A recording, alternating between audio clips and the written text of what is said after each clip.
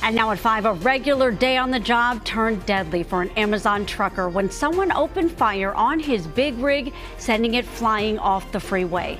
The victim was a father of two and a refugee. Thanks for joining us for the CBS 13 News at 5. I'm Marley Ginter. And I'm Curtis Ming. Drone 13 flew over the crash site yesterday in Lathrop. The truck went off Interstate 5, crashing into parked cars and a building. CBS 13's Tori Apodaca spoke with victim's family in an interview you'll see only on CBS 13. Ilkhom Shodiev was a father, a husband, a brother, the sole provider of his family, and now a shooting victim.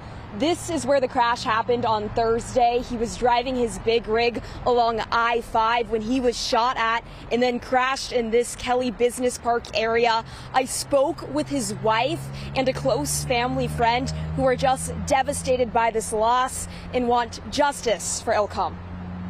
He was a person with like a big heart. He was like helpful. He loved his family. This is Ilkhom Shodiev, the Amazon delivery driver who was shot while driving on his big rig on I-5 in Lathrop. She said she said that she was trying to call him because she didn't believe that and he was not picking up the phone. We spoke with Ilkhom's wife and a close family friend who were at their home in North Carolina, too devastated to show their faces on camera. She still cannot believe it because we haven't seen the body yet. The couple moved to America four years ago from Tajikistan. When they got married, they couldn't have a child, like kids, for like five years. Then they welcomed their first child three years ago and another last year. And he was trying to work so hard doing truck driving so he can save some money and have a happy life later on with his family. For a big rig that went off the freeway into a building. But his plans for his family cut short. After getting shot on I 5, he drove off the freeway, crashing into the Kelly Business Park. He only hit two parked cars and the building. No one else was hurt. Some witnesses calling this a miracle. Like, even he's in this trouble, but he's trying to make sure that his trouble is not going to hurt somebody else. He saw a gray gun come out of the passenger side window of a car. He had been FaceTiming his family just hours before the accident. They have no idea who would have targeted him. FaceTiming with him, and he was just looking at his kids. And we were asking her, like, if he was fine. She said he was happy.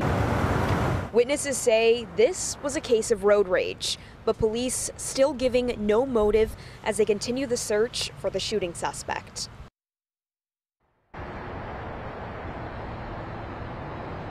And back out here live, you can see that boarded up wall. I am told that the brothers were out here earlier and were trying to clean off the blood. Definitely just really devastating out here and the hearts of so many people, the businesses, witnesses that I've been talking with, of course, going out to him and his family during this time. I also did speak with Amazon, and they cannot tell us if uh, they plan on helping with any of the expenses for funeral cost or building repairs. I do know, though, that the family is creating a GoFundMe fundraiser campaign, which we will have on our website. And that shooting suspect still on the loose. So if you happen to be traveling along I 5 heading northbound between 120 and Louise Avenue on Thursday afternoon, do contact Stockton CHP.